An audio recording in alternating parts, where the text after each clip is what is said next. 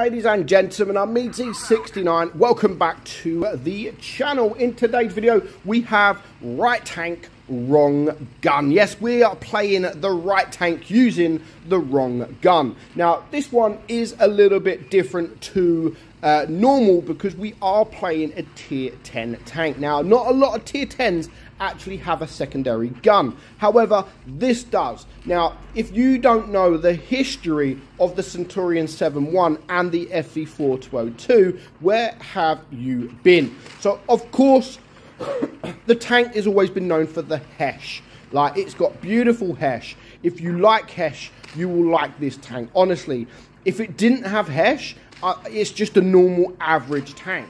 Now, what Wargaming actually did years ago now is they removed this Hesh gun. They removed the Hesh gun because it wasn't that popular. People were struggling. They were struggling. Like the average kind of player was struggling uh, with this uh, with the Hesh gun.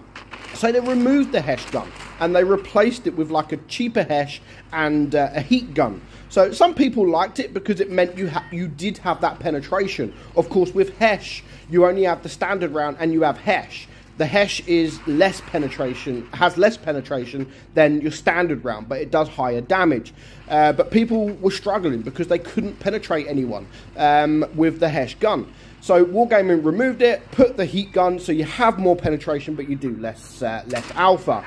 Uh, obviously, the people that loved Hesh got really mad. Yes, they really did get mad because they removed the one good thing about the tank, the one good unique thing that changes the tank or makes it different to any other medium in tier 10, and that was that Hesh. So eventually, Wargaming decided, you know what? We'll make both worlds happy. We'll make everybody happy. So we'll keep the heat gun that it's got, uh, and we'll also add the Hesh gun as well. So you can make up your own mind how you want to play the tank.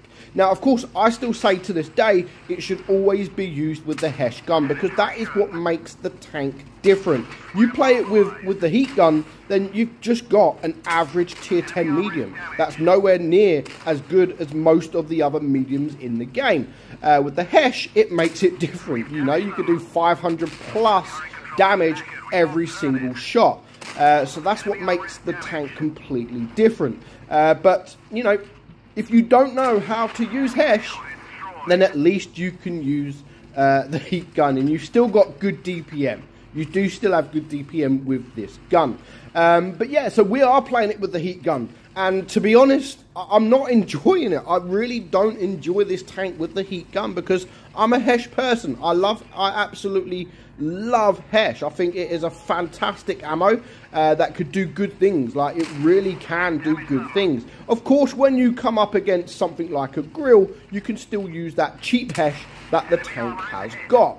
Um, so it still has that. And sometimes, of course, the, the heat does come uh, in handy because sometimes you can't penetrate. If you're frontally against the Maus or whatever, then yeah, you're going to struggle to penetrate some of these people. But the aim is to, you've got to get behind them, you know, you can't just sit in front of them um, and do absolutely nothing. Like, you've got to move.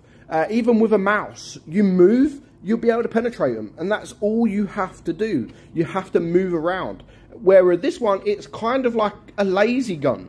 Like, you could just sit there, if you can't penetrate them, then you're just going to switch to the with the heat, and you will be able to penetrate them. So yes, you can penetrate them, and for those that don't know how to use Hesh, then yes, it is a perfect gun for you. But if you're going to use this gun without Hesh, you might as well go and play other tanks like the Patton or the STB or the types or the T62 or anything like that because they are all better than this.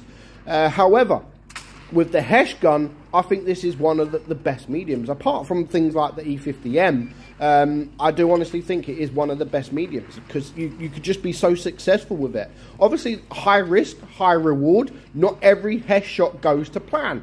Uh, you try and take a shot, and you you might only do a few uh, a few damage, like two or three or even ten.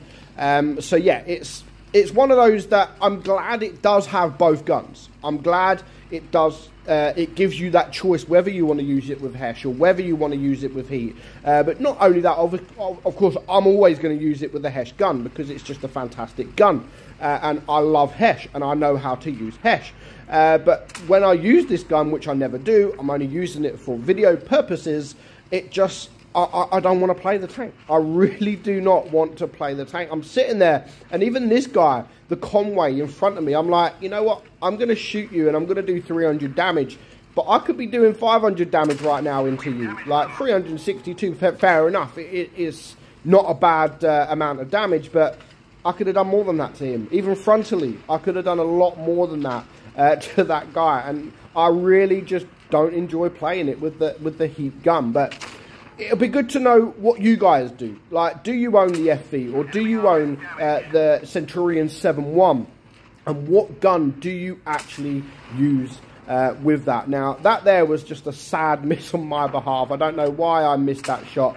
Uh, it was kind of stupid because he'd be a one shot right now. This guy would be a one shot if I wouldn't have just missed that freaking shot.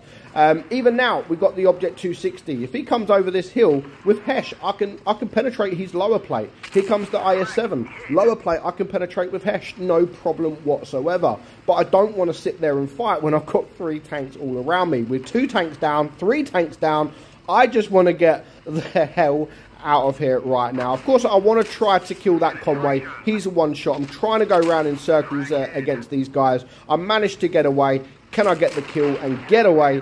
Yes, I can for now. Um, so I do get shot, unfortunately, so I am now a one-shot. And even in these kind of situations, like these guys, I could just shoot with Hesh. This uh, T7, TL7 here, I could just shoot with Hesh, no problem whatsoever. I do get a lucky bounce there. Uh, how we turned this game around, like, I can't believe for now I'm still alive. How am I still alive? I would never know, but uh, I'm still going. Uh, just three tanks left alive, and I still get another lucky bounce from this guy there. And I'm like, wow, what is going on? I am killing it. I'm bouncing everything. 2,200 block damage, uh, and I'm not going to get no more damage because it's going to be game over, except for that kill. Um, so yeah, I wouldn't recommend playing this tank with this gun. I don't think it is enjoyable, but if you don't know how to use the Hesh, I suppose this gun is a good starting point. Even to learn the tank, I suppose. Uh, but let me know in the comments. Let me know in the comments below what gun you actually use for the FV4202. It has to be the Hesh. It's got to be the Hesh. I love Hesh. Everybody should love the Hesh because it is just truly amazing. Hope you enjoyed today's video, guys. I'm Meadsy69, and I will catch you all soon. Bye-bye.